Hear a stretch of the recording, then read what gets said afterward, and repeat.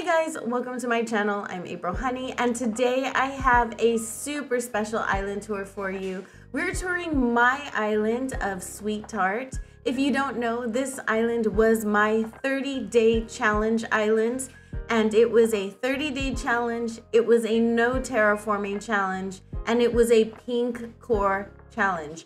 I have never never in the history of Animal Crossing done an entirely pink island. So this was entirely new for me. Let's get started. We're gonna start with my flag right here. Isn't she cute? You might recognize it if you ever dug through my previous dream addresses. It was actually the flag from my very first fairy core island of El Bosque. It was one of the first custom codes I ever made. So here we are at the entrance. At the entrance, we just made this cute little gazebo moment. I actually really love it. We have our little garden wagon here being watered. It is a very meadowcore island. And then we have our little pink cherry blossom trees. And I don't know, it's just very cozy, very pink. And I do love it. We're gonna head over here to resident services so we can show you what we did with resident services. Resident services was hidden behind a castle wall because let's be real, resident services doesn't scream pink core. It really doesn't. It doesn't scream anything anything about this island. Let me show you what we have for custom designs. If you, by some chance, have been keeping up with this island series, then you know that I made all of the custom designs on this island, either from the past or in this island. And so I uploaded all of the custom designs that I've made on this island here. You can also find them over on my Twitter or my Instagram, or you can take a screenshot right here. Hopefully you guys like them. I truly, truly fell in love with all of these codes. So hopefully they do you well in the future as well. Moving right along, over here, we just filled it in with just some cute little decor. I put a baby bear here.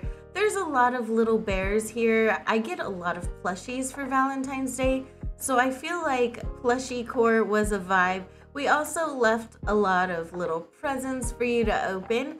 So if you come here and you open them, you'll have to let me know what's in them. I would be really um, excited and interested to know what they are.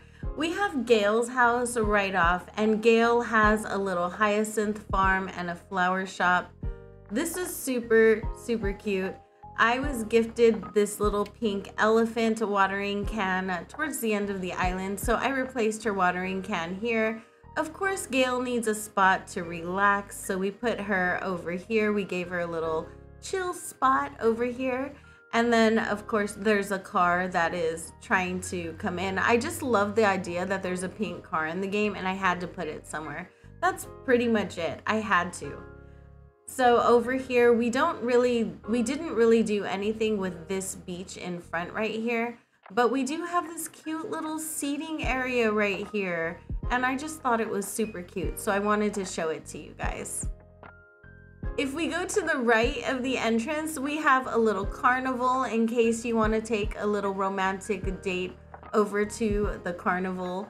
Over here, we have our little refreshment stand and all of the little treats that you can get over here.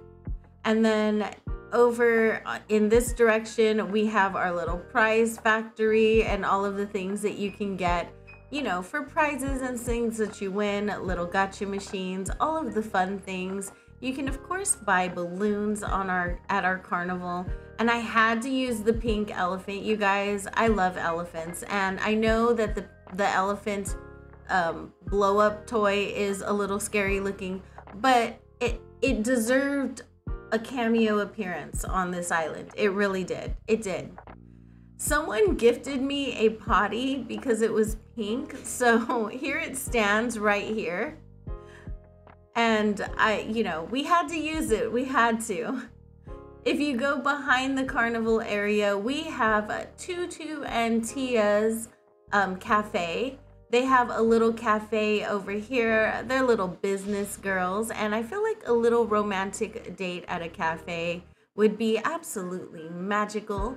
we have a cute little seating area, which I do see in most coffee shops, and then some other seating, outdoor seating, if, if you will. I use the Cinnamoroll Cafe sign because how cute is it? It is so cute. And then I put some little friends here to enjoy some sweet little treats. And because these girls are environmentally conscious, they have their own little garden in front where they grow all of their own produce for their cafe. We gotta love that about them. They're they're very responsible business owners, and I love that. Look at my baby Ellie. She's so cute. Y'all, she's adorable. So right along the back, we didn't really do a whole lot. We just have uh, some really simple decor, just some little seating areas and such. We have our little trolley Luigi shoes having to make an appearance here. This island was created in 30 days, you guys, so we were on a little bit of a time crunch here. So I would say that not a lot of it was planned out very in advance. This was kind of put together as we went along. It was a, such a fun process though. Oh my gosh, I had so much fun on this island. It was crazy, it was wild. I wasn't sure if it would finish. We did this little area right here just so there's something to look at as you're running by. Nothing too special going on back here. And then we're gonna cross over to the back.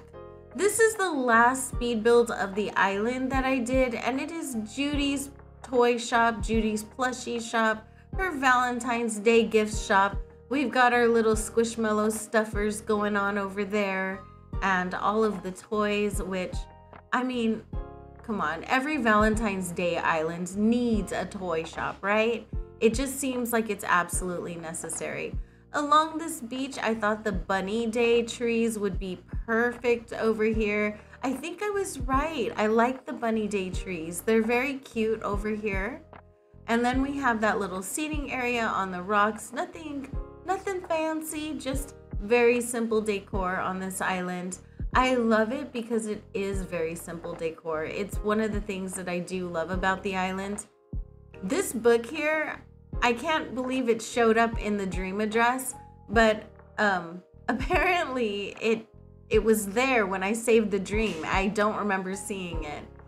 So here we have Chief's house. We didn't do anything fancy to Chief's house. We just gave him a typical like male garden area, a man a man area if you will and a fancy car. He probably plays some sports, so we gave him a football. But that's that's pretty much it. Nothing too crazy. Over here, this was my failed attempt at a rock garden at midnight. No, it was 11:30. I was like, "Let me try to spawn a rock garden." This was the last area on the island and I was like, "Let me try and spawn a rock garden here." Three of the rocks would not spawn, and I know I needed to move these two trees so that you could see three spaces behind, but I didn't really have enough time that to finish it, so I just made it so that rocks couldn't spawn on the island at all. So there we go. We have no rocks on this island. There is there's no rockage happening here. But it's fine. I like this little courtyard area. I feel like it suits the island really, really well.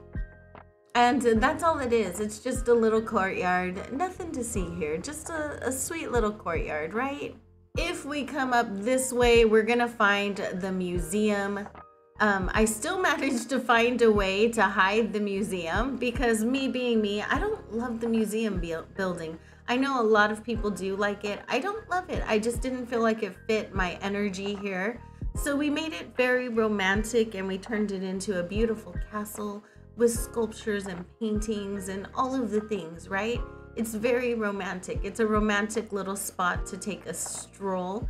We have a cute little statue statue garden in the front. And if we go along right here, we have a little coffee truck right here because it seems like something that you would find outside of the museum. We have some branding going on over here, you know, for the islands. And then we're just gonna come up here and go through. Blathers is completely accessible. As you can see, Merengue is over here. If she'll let me through. Okay, we have a little painting area right here. which I do love. And then just some decor up here. I just felt like those two statues looking front and back were a pretty statement piece. And then we have her painting and overlooking the ocean back there. I just thought that was a really sweet moment to capture. This island was saved during the golden hour, and I love the way it looks at this time of day. I feel like it is the prettiest time of day to showcase an island like this, like 100% hands down. You guys let me know if you agree or not. And then we have just um, Marshal's house back here. I gave Marshal a wheat field. I just thought it was a very fun thing to put on the island. I love the wheat fields. I love something about running through them is a very satisfying. So we gave Marshal a cute little wheat field over here. Um, and it was mostly because there's a bakery in front. Merengue's Bakery is in front. And I feel like Marshal is providing the flour for Merengue. And that's just really a cute idea, right? That Marshal and Merengue are in business together and they're doing things, they're coming up in the world. So we have our cute little bakery over here. And of course, we have seating in case anyone wants to stop and enjoy a little treat before they go. We do offer entertainment at Merengue's Bakery over here. We have our little street piano and I didn't know that came in pink, but when I saw it in pink, I was like, it needs to have a place on this island. It just does. So that was that over there. I thought it was super cute. I really loved it. If we keep moving past the little seating area in the courtyard, we have a double bridge moment this island was no terraforming, so I had to take advantage of these moments when they made themselves presentable to me. So we took advantage of the terrain and put a double bridge moment here. I really love them. I think they really make an island. They kind of just step up the decor a little bit, right? I just love them so much.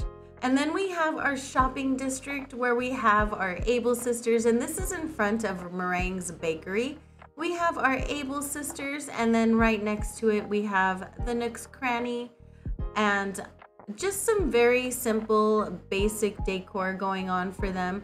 We have our little car in the parking lot. I decided on using this little custom code for the shopping baskets. I have no regrets. I think it's super cute. Going down this path right in front, we have a little river walk. I love a good river walk in real life and I decided to make it a cherry blossom kind of enchanted walkway with all of the little confetti machines shooting up their little confetti. We put a little rest stop area here with a baby bear in a stroller. I just think it's so cute. I don't know where mama went, but you know, the baby's just resting here waiting for her to come back. And then we just moved right over here and here is where we enter the wedding. So this is Maple and Melba's wedding and I just thought it was so much fun. I did make this in stream. A lot of this island was made on stream. I don't know how we managed to make an entire island mostly on stream, but we did, you guys. And it was such a grind. Would I do it again? I'm not sure. But I have no regrets about having done it once. We have Chief. Maybe he's gonna protest. Who knows? That would be like very drama movie, right? Romantic comedy, maybe. But I did their houses matching. I think it came out really cute. In the front of it, we have a little wedding reception over here with guests. I just love this little picture right here. I feel like it's so happy and cute. Just a sweet little moment. Over here, we just did a boardwalk up the beach, nothing too special. And I made a little path going up over here to Ellie's house. And Ellie, we gave a bunny garden. And there's my character right here. And she says, Be my sweetheart. I just thought that was a cute thing to say on an island like this. So we gave Ellie a bunny meadow with a heart pond because Ellie is my sweetheart, you guys. I love her so much. She needed the heart pond. Like she had to be put placed in the heart pond. That was super important to me. So here we have her little house right here with her car parked in front because she's a boss. Of course, I'm visiting Ellie because where else would I be on an island if I'm not visiting Ellie, right? Um, Ellie's house is right in front of my house. Are you surprised? You shouldn't be. We have a pink tulip field over here leading to my house. I just thought the tulips in this lighting would just be so beautiful and I put it in front of my house. My house is actually not decorated. The beaches and the whole island are decorated, but my house is the one thing that did not get decorated. 30 days is not a long time, you guys. Usually I do decorate my entire house and everything, but I ran out of time. I ran out of time, so uh yeah, this was what what happened. And this is our campsite. The campsite was a members only build that I did. It was just a sweet little mini build, just a typical campsite, right? Very, very normal campsite. This whole island is so pink. I said this before, and this will be the last time I say it. I have never pinked so much pink in my entire life.